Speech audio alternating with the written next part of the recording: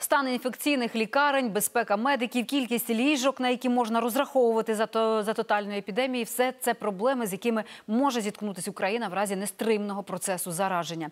Якщо в обласних центрах ситуація ще хоч трохи заспокійлива, то в районах і селах сумно. Буде важко, коли хворі прибуватимуть великими групами. В Івано-Франківській області, яка в епіцентрі захворювання, не вистачає засобів захисту для лікарів, витягають старі протичумні костюми, які здатні хіба що бути декораціями для історичних драм.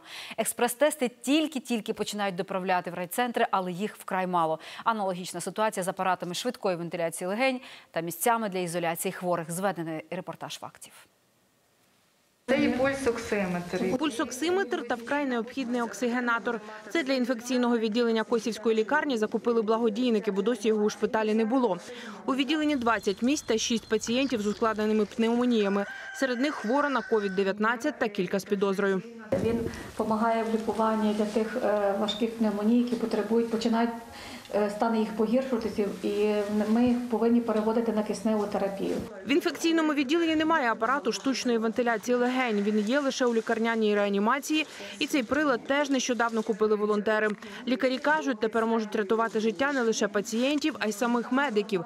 В сусідній палаті з підозрою на коронавірус лежить медсестра. В обласній інфекційній дві медсестри інфіковані. Скільки лікарів та медиків в інших районах ще чекають на результати, невідомо. Потрібні респіратори третього, другого рівня захисту, які мають відповідні ці клапарни. У них е, легко працювати і вільно дихати.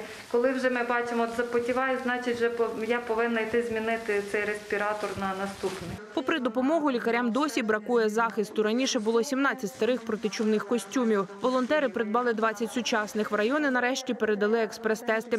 Область отримала 5 тисяч упаковок, Косівська інфекційка – 100 штук.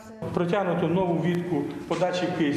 Ми бачимо тут е, розетки для підключення апаратів штучної вентиляції легень. Це відділення реанімації обласної лікарні Волині. Для важкохворих з COVID-19 тут готують 25 ліжок та стільки ж апаратів штучної вентиляції легенів. Адже цей заміський корпус обласної лікарні в селі Боголюби визначили головним медзакладом для інфікованих коронавірусом. Готове розділено. Є алгоритм дії. Але це для нас трошки щось нове все одно. Загалом у лікарні розгорнуть півтори сотні ліжок в палатах-боксах для хворих на коронавірус. Для таких пацієнтів облаштовують усі шість поверхів корпусу лікарні. Медзаклад отримав необхідні ліки і 15 тисяч масок. Поки перша партія на медикаменті. Медикаментів ще поки ну, досить так вже є багато. Тут і глюкоза, і фізрощі у нас є, і медикаменти такі є, жаропонижуючі у нас є, є антибіотики, дуже багато різних видів. А це Вінничина, Немирів. Готове розділено. Право-ліво стоять апарати. У нас в лікарні є шість. Але у разі спалаху епідемії цих апаратів ШВЛ Немирівській районній лікарні не вистачить, бо два працюють в пологовому відділенні, яке не можуть залишити без апаратури.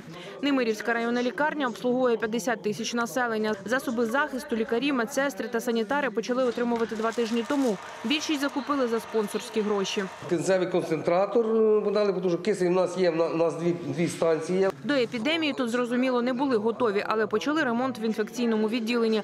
Додатково облаштовують ще два бокси з окремим виходом та ізольованими палатами. В лікарні вже визначили дві екстрені бригади. Медики приміряють захисні костюми і налаштовують себе на позитив. Ну, звичайно, готові. Ви, ви бачите, вас всім забезпечили. Ви як медик можете оцінити ситуацію. Ну так, 50 на 50. Ірина Тимчишин, Катерина Курбанова, Людмила Цимбалюк. Факти ICTV.